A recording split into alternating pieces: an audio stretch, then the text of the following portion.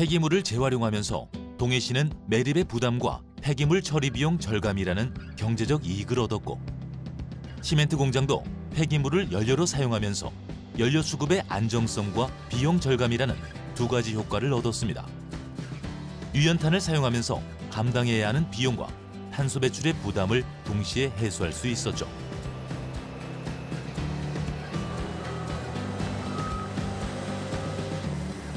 화석연료인 유연탄은 수급이 안정적이지 않을 뿐 아니라 가격 상승폭이 커서 시멘트 가격에 결정적인 영향을 미칩니다. 유연탄 가격은 작년에만 133%가 올랐습니다.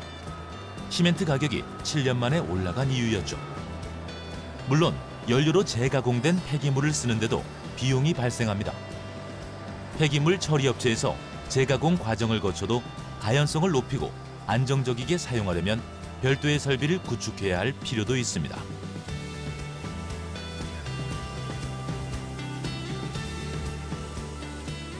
하지만 이런 비용은 온실가스 감축 방면 과제를 위해 반드시 필요한 비용이기도 합니다. 50mm 사이즈로 어, 반입된 폐 합성 수지를 저희 분쇄 설비를 통해서 최종적으로 25mm 언더 사이즈로 분쇄해서 저희가 연료로 사용할 그런 제품입니다. 이, 폐- 이 합성 수지는 저희가 전량 유연탄을 사용하던 부분을 저희가 이제 그 유연탄을 대체하는 네. 그 연료로서 네. 지금 사용을 하고 있습니다. 저희가 일간 한 1,500톤 정도를 이렇게 사용함으로써 어떤 뭐 유연탄도 대체를 하고 환경적인 부분도 기여를 하고 있다고 생각합니다. 동해시에서 발생하는 폐기물로 유연탄 일부를 대체하고 있는 이곳은 더 많은 폐플라스틱을 자원으로 활용하기 위해 설비 투자를 이어갈 계획을 가지고 있습니다. 투입되는 비용이 발생하는 만큼 생산성에 대한 고민이 더해지겠지만 전 세계적인 탈탄소 정책을 따라가려면 이제라도 발빠르게 움직여야 합니다. 물론 1700도에서 2000도 고온을 유지하는 소성로 공정에 이점이 있다 해도 환경오염을 줄이기 위한 점검과 노력도 놓치지 말아야 할 부분입니다.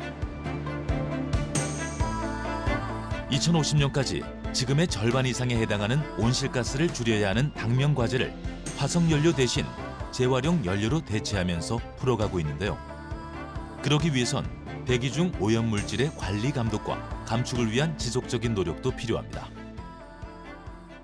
저희 그 생산 공정에서는 소성 쪽에 관련된 stack과 그 냉각기 시설에 그 설치된 stack이 이제 두 가지가 있습니다. 그래서 소성로에 달린 stack 자체에는 먼지 부분과 NOx 요 두 가지가 가장 크게 모니터링을 하고 있고요. 냉각 시설 같은 경우는 먼지 부분에 대해서 모니터링을 이제 실시간으로 하고 있습니다. 요 실시간 그 데이터는 TMS라는 설비를 통해서 환경공단과 강원도청에 같이 공유가 되어 있고 그 세 곳 다 저희 포함 세 곳 다 실시간으로 모니터링을 하고 그렇게 있습니다. 폐기물을 연료로 재활용하기 위해선 유입되는 폐기물의 상태도 매번 검토해야 합니다. 점검 단계가 많아져 자원으로 쓸 수 있는 폐기물의 안정성이 높아질수록 더 많은 폐기물을 유연탄 대신 사용할 수 있을 것입니다. 환경을 위한 모든 걸음엔 그만한 노력이 필요한 법이죠. 시멘트 킬러는 2000도씨 이상의 초고온에서 긴 체류 시간을 갖고 있습니다. 그러다 보면 순환 자원에 포함된 유기물을 완벽하게 그 처리를 할 수가 있고요.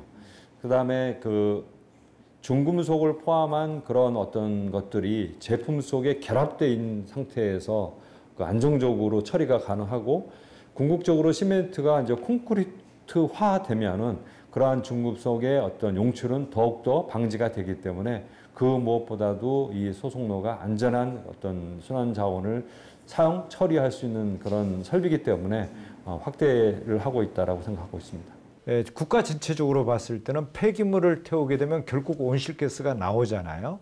또 시, 그 석탄을 태워도 온실가스가 나오는 거고, 근데 석탄을 대체한 만큼 석탄에서 나오는 온실가스를 줄여준 겁니다. 그러니까 온실가스 감축 효과가 있고요.